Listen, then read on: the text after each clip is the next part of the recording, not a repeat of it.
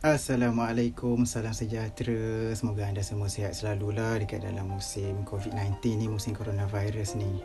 So, saya nak mulakan cerita. Saya ni dulu masa sihir, masa santau sampai tahap saya mimpi pelik, saya muntah darah. Dalam darah tu ada jarum, ada rambut. Dan saya pergi jumpa ustaz. Ikhtiar lah sampai berbulan-bulan, kadang-kadang elok, kadang-kadang tak elok.